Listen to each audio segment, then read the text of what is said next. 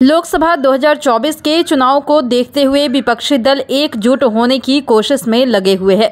दिल्ली में आज तमिलनाडु के मुख्यमंत्री और डीएम के अध्यक्ष एम के स्टालिन की अध्यक्षता में एक महासभा होने वाली है। इसमें करीब 20 दलों के नेताओं के शामिल होने की संभावना है।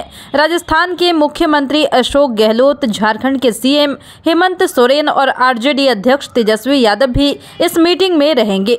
लोकसभा चुनाव से पहले विपक्षी को एकजुट करने के लिए डीएम के दूसरी बार इस तरह की कोशिश कर रही है। इससे पहले स्टालिन के सत्तरवें जन्मदिन पर एक मार्च को चेन्नई में हुए समारोह में विपक्ष के नेता एकजुट हुए थे। राजनीतिक विशेषज्ञों का मानना है कि स्टालिन की ओर से भाजपा के खिलाफ एक मज़बूत गठबंधन बनाने की कोशिश की जा रही है। हालाँकि डीएम के सांसद पी विल्सन का कहना है की ये मीटिंग पूरे भारत में सामाजिक न्याय आंदोलन को आगे ले जाने के लिए है। बताने कि तमिलनाडु के मुख्यमंत्री और डीएम के अध्यक्ष एम के स्टालिन के सत्तरवें जन्मदिन पर चेन्नई में हुए समारोह में विपक्ष के नेता एकजुट हुए। समारोह में कांग्रेस अध्यक्ष मल्लिका अर्जुन खड़गे ने कहा कि मैंने यह कभी नहीं कहा कि कौन प्रधानमंत्री बनेगा या कौन नेतृत्व करेगा। यह सवाल है ही नहीं। मैं तो चाहता हूँ कि हमें साथ मिलकर लड़ना चाहिए। जम्मू कश्मीर के पूर्व सीएम फारूक अब्दुल्ला ने खड़गे के बात का समर्थन करते हुए कहा कि हमें मिलकर चुनाव लड़ना चाहिए।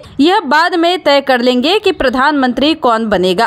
कांग्रेस अध्यक्ष मल्लिका अर्जुन खड़गे ने कहा कि तमिलनाडु में कांग्रेस डीएम के गठबंधन ने 2004-2009 में लोकसभा और 2006 और 2021 में विधानसभा चुनाव जीता था। हमें 2024 की लोकसभा जीत के लिए यूपीए गठबंधन और अगुवाई करने वाले नेतृत्व को मज़बूत करना चाहिए। सभी विपक्ष दलों को एक साथ आना चाहिए। फारूक अब्दुल्ला ने मंच से स्टालिन समेत विपक्ष के सभी नेताओं से कहा कि जागो, एकजुट हो जाओ और एक ऐसे राष्ट्र का निर्माण करो जहाँ हम सभी सम्मान और शांति से रह सके। भारत के लोग ही देश को मज़बूत बनाते हैं। आइए हम एक साथ मिले और सद्भाव से काम करें।